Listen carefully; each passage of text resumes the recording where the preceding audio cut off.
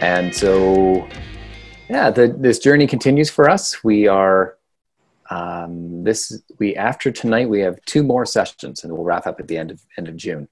So I hope this has been a, a great journey so far. We have learned a lot doing this. Uh, we've had some really big wins um, having doing this digitally, and we pray it'll morph into in the fall having a mix of online connections, but also people locally, maybe getting a bunch of people together in a living room. So we're we're praying about that. So I encourage you to uh, be praying about, hey, are there some people in my town, in my city, wherever I'm going to be, that I want to be in a in a discipleship group together, and so that you'd come together and come online. Uh, we will provide training for leaders, and and talk to me if you're interested in that. And so there'll be a mix of teaching online, and then for if you have enough people in your living room, you can just shut off the computer and, and meet there, or you'd maybe one in a in a Zoom room to continue there. Uh, but I pray that has been uh, life giving for you.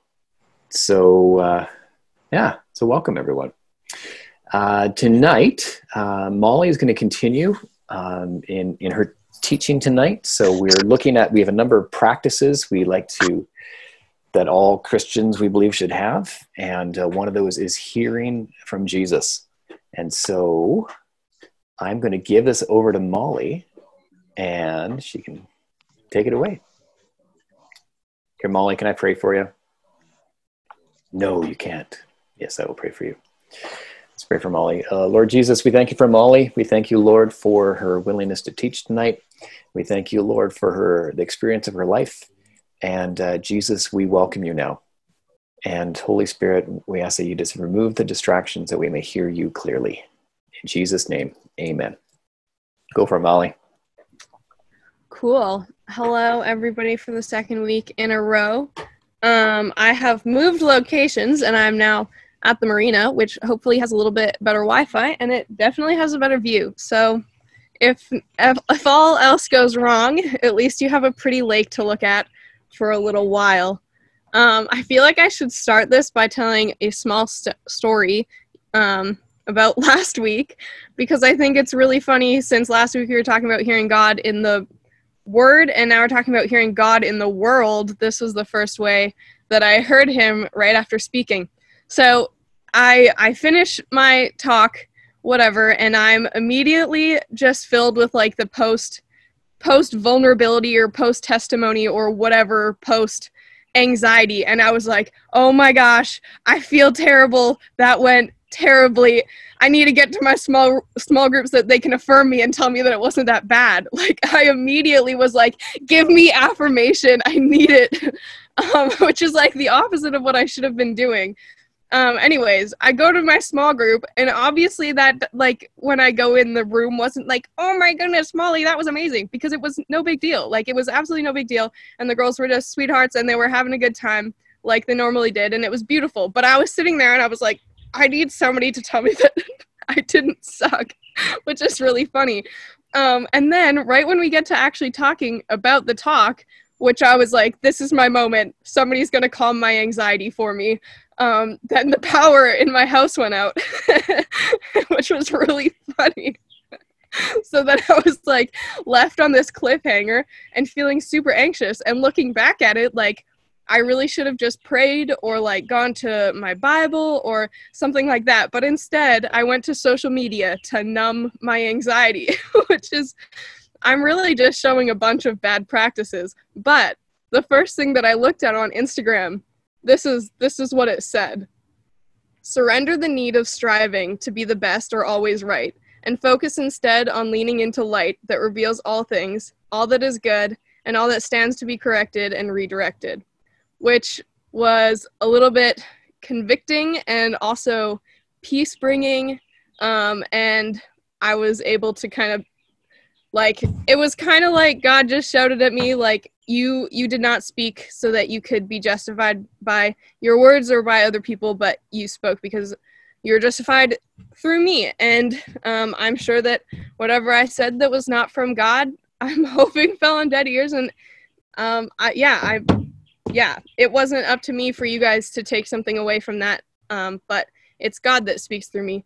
So that was a little bit of me kind of relearning what I was talking about or what I'm going to be talking about um, in that God shows up in the world and he speaks to us um, when we need it and where we need it. So, anyways, that was just a mini story. Um, that was maybe not actually that mini. That might have been like five minutes. I'm sorry.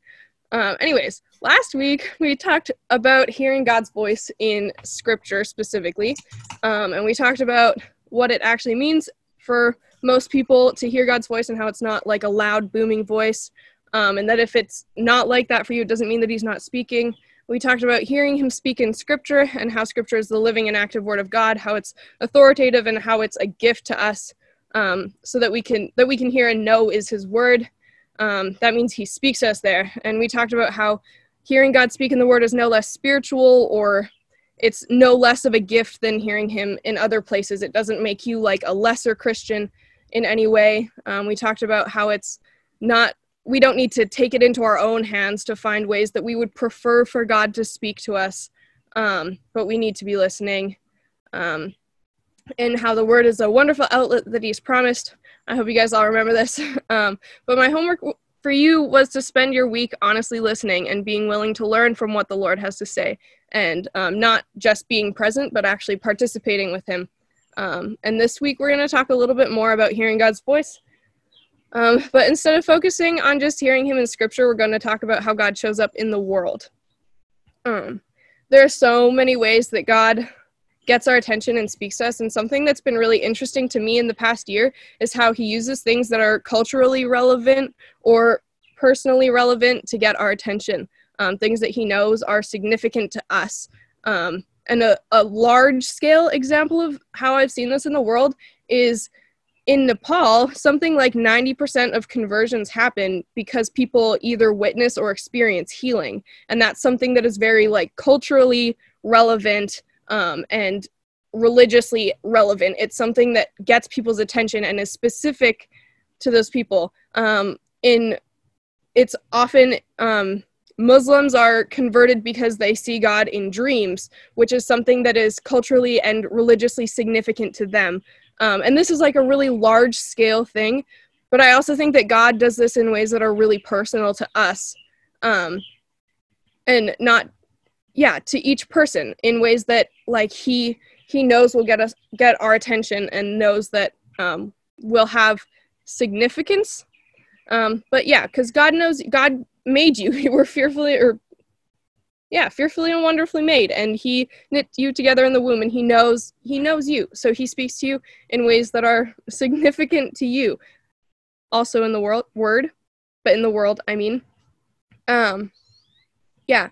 Some common ways that I've experienced or heard testimony of are things like God planting seeds of words in our lives, words that come straight from His Word, words like, You're enough, or You are beloved, or I'm protecting you, or I have made you new, or trust in me, or You are justified through me, or You are forgiven. And for a long time, um, something that God reminded me was of was that He was fighting for me and that I only had to be silent, which is Exodus 14 14 um, but just because it was in the word doesn't mean that I was separate from hearing those words in the world as well. And those were spoken to me like time after time after time after time again. We even had a whole fall hike that was centered around the book of Exodus. Um, and it felt like every single day people would talk, Hillary, you were one of those people. And it would just, it would sound, it would sound like what God had been speaking to me for months and months and months and months and months that he was fighting for me and I only had to be silent. Um, and it was reminded to me in books that I was reading and people I was talking to and music that I was listening to and journaling prayers and other people's testimonies and devotions that I would hear and sermons in church and podcasts and all these things that that had no clue God was doing his work. I can guarantee you that Hillary when she was planning her devo didn't think pretty sure Molly needs to hear this one so I'm going to throw it in there. No, it was it was God that was orchestrating it all. I'm pretty sure that Bob Goff, when he was writing his book, wasn't like this one is for Molly in Camrose, Alberta. Like no, it is it is God showing up in those places, and that is God using the world around us. I'm sorry for these bugs. I'm gonna keep swatting at them though. Um, it is God using the world around us to speak these things that He He is already been speaking to us that come straight from his word to us over and over and over again to to um, re-emphasize these things um, through repetition um, through not only the bible but also these other outlets i guess that get our attention um, he speaks good words that he is already teaching or he shows us roots that he's already been digging up um, that he places in our worldly lives around us as reminders of his good word and our call to believe and to abide. Um, but the key to all of this, to hearing God in the world and through other people or music or in our own journaling or books or spiritual disciplines or whatever it is that you hear God in where you feel really connected to Him, um, the key to it all is that it will all align with Scripture. And if you if you're ever hearing words that are confusing or that you can't tell if it's God's voice or your own, go back to his word and text, test it against what we've been promised is true because he has promised that to us. Um, and if the voices that you're hearing in the world are shaming and telling you that you're not good enough or you didn't do enough for God to love you or or that you will you'll be good enough if only dot dot dot or if the voice is telling you to hurt yourself in some way or to hurt another person in some way like emotionally or whatever it is if if it's telling you to make an idol of something that's not god then that's not god's voice no matter like even if it comes to you in your journaling in a way that you typically see god it has to be tested against scripture and i'm not saying that the words that you hear god speaking over you in the world and in the in the bible won't be convicting. We talked a lot about that last week because he does convict us, but conviction isn't shameful. Um, and conviction doesn't attack your identity as a beloved child. So when you hear these voices from places, from social media, from um, people around you, from toxic relationships, um, that's you still have to remember that that's not God's word. Um, and I think actually toxic relationships was maybe one that I should talk on for a little bit more than I planned. So sorry to the notes. But toxic relationships goes so far past just romantic relationships they can be with siblings or with friends or with parents or with whole communities that that you invest yourself in and i think that a lot of times we can we can decide that those people's or those communities opinions and voices have more weight in our life because of because of how much they mean to us emotionally um, and not not necessarily consider that that their voice is not God's. Um, and even even people that really do have sound um, theology or that have really similar beliefs as you, um, and that sometimes you do hear God speaking through them, and it it is something that God is been repeating to you that doesn't mean that every word that comes from their their mouth is is God's voice. We can't start making idols of the people around us just because we love them and just because most of the time what they're telling you is sound theological advice. Um, that is idolizing and like I love the girls in my group a lot, but if I just decided that everything that they told me in that group was that was truth and that was like my own bible that's that's not me listening to god that's me listening to the world. So when we listen to the to god's voice in the word or in the world sorry those words are too similar for me. Um it, when we listen to god in the world it's it's key that we're actually we're listening to his voice in the word too because we can't just start deciding that the world is our bible. The world the world is not our bible. The world is full of sin and we are in bondage to sin. And just because i i am a christian i hope i pray that that you guys don't listen to every single word that i say and decide that that is that is absolute truth. Because i've i've probably spewed like five minutes of heresy already. Who knows? Um, i i don't speak truth. God god is truth and the bible is truth. So even as i'm speaking to you now this is a devotion. But and god can speak through me but I'm not God. and not every word that leaves my lips is going to be God's word. Um, yeah, sorry, that was a bit of a tangent. But when you're listening to God in the world, don't decide that the world is God. God decide that God can sometimes choose to speak to you in the world. And it's an amazing thing and it's a gift and it's special. But the world is not God. God God is God of the world. Anyways, back to the notes. Sorry. Um, Okay, the other thing that I wanted to talk a little bit about is spiritual disciplines because we've talked about that before and we've told you about a few of them. Um, but I personally didn't really understand the purpose of spiritual disciplines for a very long time. I thought they were kind of a way to make reading numbers a little bit more interactive and fun, you know? Or like a way to make me a, a better Christian. Like, oh yeah, I, I know what Lectio Divina is. You know what I mean? Check that off my Christian box, just leveled up a little bit. Um, no. What I have learned about spiritual disciplines is that actually i'm gonna i'm gonna read what i've learned about spiritual disciplines so that i don't just spew again um um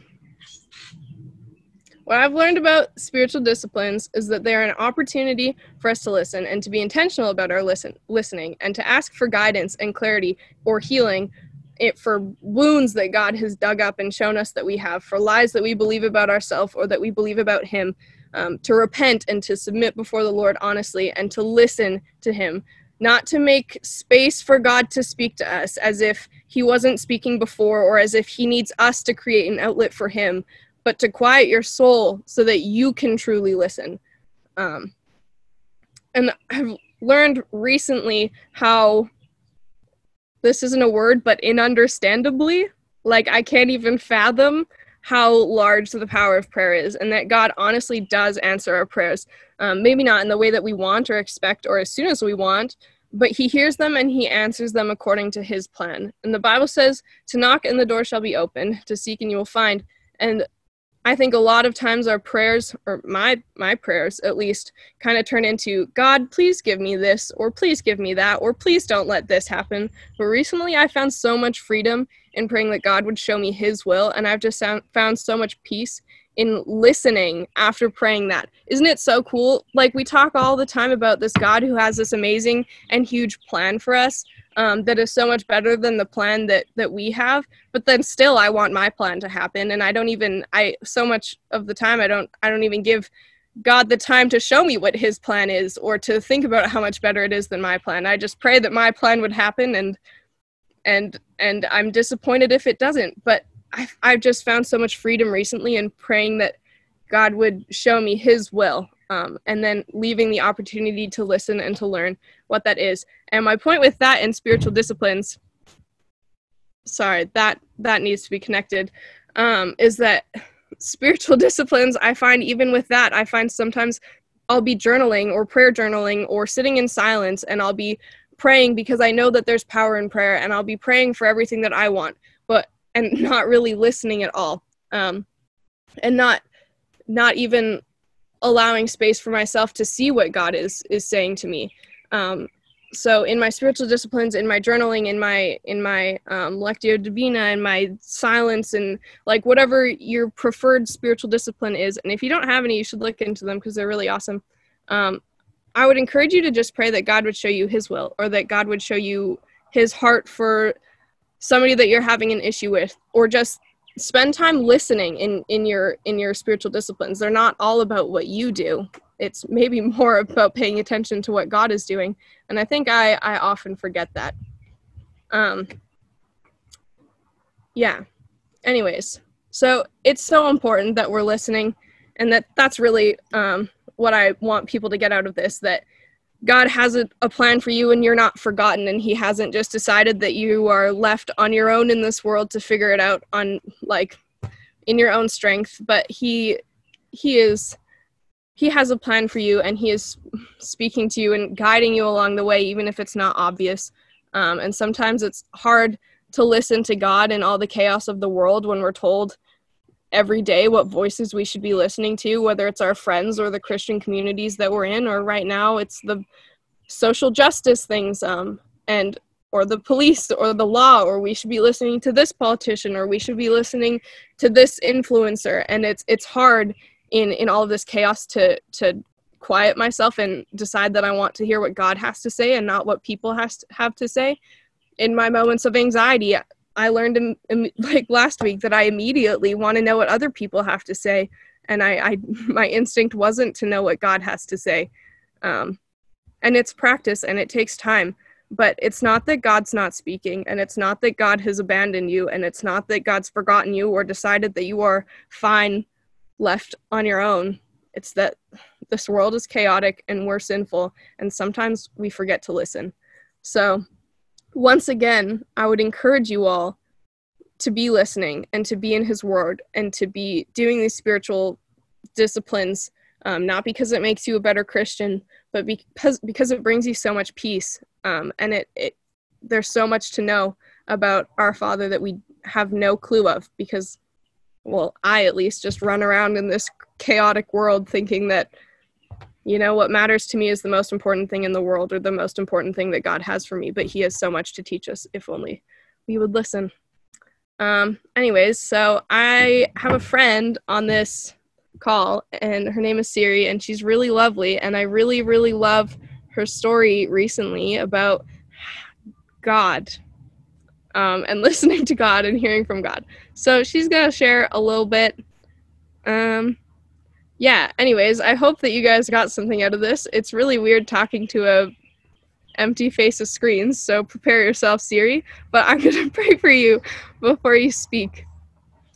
Heavenly Father, I thank you so much for Siri, and I thank you for her willingness to share um, a testament to your goodness and your faithfulness and um, to you speaking to her and guiding her in this crazy world.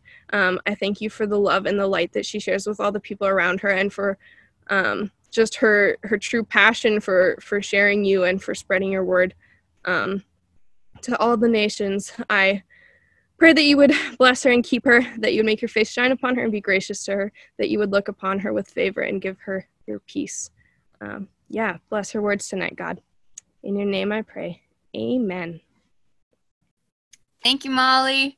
All right, I got to turn off my video because my Wi Fi is really bad. But yeah, for a while I was just in a place where I did not ever see myself going to Bible school.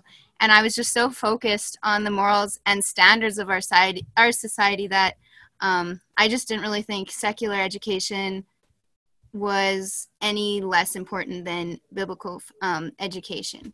Um, and then God kind of twist um, changed my mindset on everything and showed me a completely different route.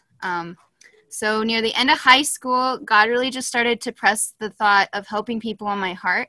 And I've always had a calling to Hawaii, so uh, he knew I needed Bible school, and he pretty much lured me in with the burning passion in my heart to help people why like that's why I chose the medical DTS. And um, as most of you know, my time there got cut short due to COVID nineteen. But close to my, the end of my time there, I just really started.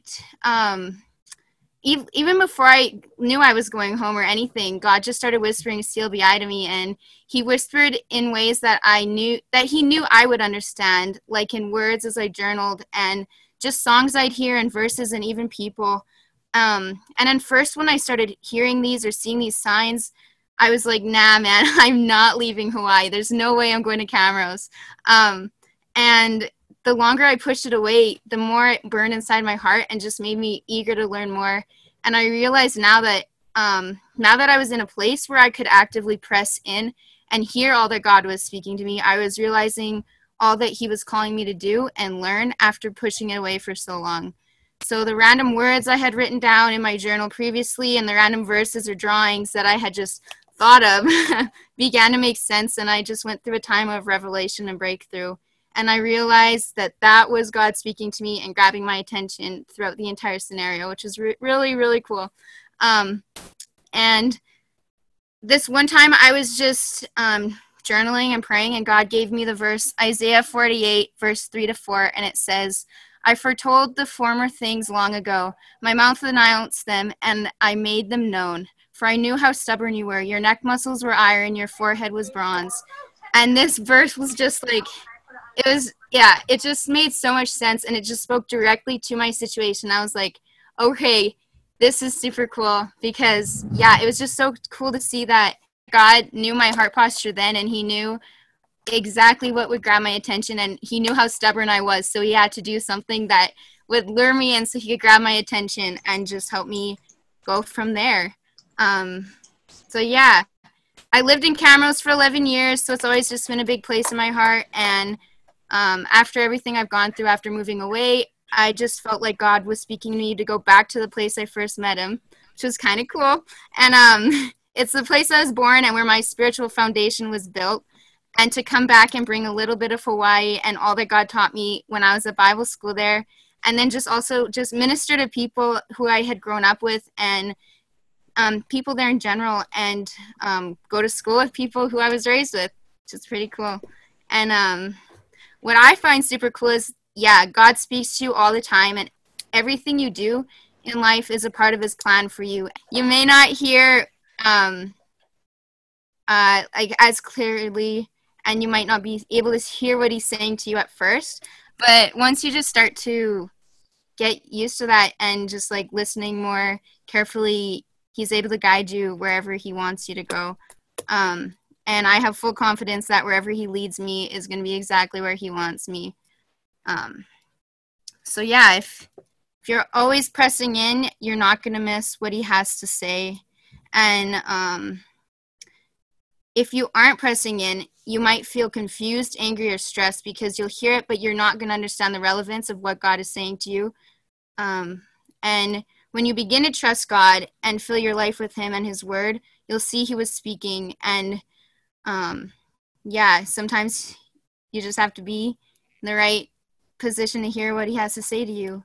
So, yeah, if you are ever in a place where you just feel like you can't hear what God is trying to say to you and you're stressing about whether or not you can hear God's voice, and even like Molly said, uh, feeling a little bit of guilt because you feel like you're not a true Christian if you can't hear um, what God's saying, that's totally wrong. And I just really encourage you to surround yourself with people who are going to encourage you and um, just see God and be in His presence and just listen to all that He has to say. And it takes time, it takes practice, of course, but once you're in a position where God can just pour into your life, it makes it so much easier, and you're just going to go so many places after any of the strongholds or anything that kept you from hearing God's voice are gone. So, yeah, um, I hope this is helpful. And yeah, I just encourage you guys Siri, thank you very much. I love hearing testimonies. It's like you're a living parable. And we see Jesus um, came in the flesh into the world, and he, his spirit is still with us. He promises, promised never to leave us. I'll be with you always, including today on June 10th, 2020. And yeah, your story is a picture of that, of God getting your attention through things in the world. Molly, thank you for your teaching.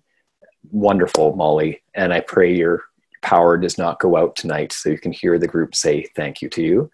But last week was a, a kairos, a, a, a moment that God wanted to get your attention with a power outage.